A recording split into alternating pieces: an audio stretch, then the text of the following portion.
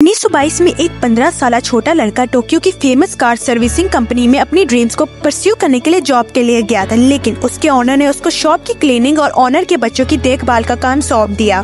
पर किसको मालूम था कि ये छोटा लड़का सोचीरो होंडा एक दिन इतने बड़े ग्लोबल ऑटोमोबाइल्स होंडा ब्रांड का फाउंडर बनेगा। Welcome back to our channel सीख द हाइट ये कहानी शुरू होती है 1906 में, जब सोचिरो होंडा जापान के एक छोटे और गरीब गाँव में पैदा हुआ था। इसका बाप एक लोहार था और पार्ट टाइम साइकिल रिपेयरिंग का काम करता था। होंडा के बाकी बहन हेल्थ इश्यूज़ की वजह से इस दुनिया में नहीं रहे थे। अब होंडा से ये सारी उम्मीदें वापस आती उसके पेरेंट्स की। लेकिन होंडा को स्टडीज़ में बिल्कुल इंटरेस्ट नहीं था। इसीलिए वो ज़्यादा वक्त अपने बाप के साथ साइकिल रिपेयरिंग में गुजारता था। आठ साल की उम्र में होंडा अपने मोहल्ले में खेल रहा था। किसकी नज़र एक फोर व्हील्स वाली मशीन पर पड़ी जो चल रही थी? इसको देखकर वो इतना ज़्यादा हैरान हुआ कि कैसे ये मशीन खुद चल रही है? ये कार फोर्ड का मॉडल टी था।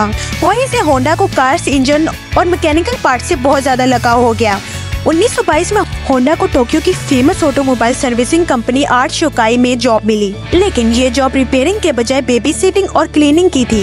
पर होंडा वापस अपने गाँव नाकामी और शर्मिंदगी की वजह से नहीं गया और वहीं काम करता रहा। कुछ अरसे में आर्ट शुकाई के मालिक ने होंडा को रिपेयरिंग के काम पर लगा दिया। और जब होंडा की दिलचस्पी और थोड़े वक्त बहुत कुछ सीख जाने को देखा होंडा को अपना शागिर्द बना लिया और जल्द ही वो बहुत अच्छा मैकेनिक बन गया।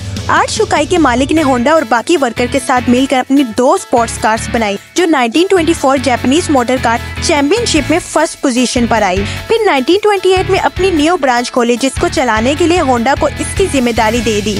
यहाँ पर होंडा एक ब्रिलियनिक बन गया, लेकिन अभी इसकी स्ट्रगल खत्म नहीं हुई थी। न ही उसका ड्रीम पूरा हुआ था।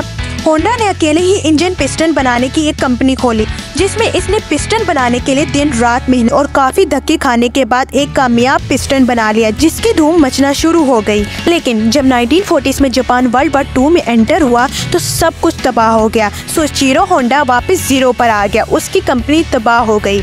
पर होंडा ने हार नहीं मानी। वार के बाद जब जापान ट्रांसपोर्ट क्राइसिस से गुजर रहा था तो महँगाई बढ़ती जा रही थी तो होंडा ने दिमाग लगाया और साइकिल्स पर पहली बार यूज़ इंजन लगा के न्यू बाइसाइकिल इंट्रोड्यूस करवाई, जो बहुत फ़ेमस हुई। पर होंडा के पास यूज़ इंजन खत्म हो गए। फिर होंडा ने खुद इंजन बनाए और यूँ पहली बार साइकिल्स पर होंडा नाम का लोगो नज़र आया। सिलसिला चलता गया। पर होंडा का बचपन का ख्वाब कार्स का अभी भी वही का वही था, जिसको वो भूला नहीं था। अपनी ज़िंदगी के 62 इयर्स गुजारने और कामयाबी हासिल करने के बाद होंडा ने अब कार्स की दुनिया दाखिल होने का सोचा। ये काफ़ी मुश्किल था, क्योंकि जापान में ऑलरेडी टोयोटो और निशान अपने बिज़नेस जमाए बैठी थी। लेकिन होंडा ने अपनी पहली pickup truck T three sixty launch की, पर ये फेल हो गई। उसके बाद कई सालों दर्जनों डिज़ाइन बनाए जो रिजेक्ट होते रहे। फाइनली 1972 में होंडा सिविक लॉन्च हुई। ये वो कार जिसके न्यू मॉडल्स आज पूरी दुनिया में फ़ेमस है।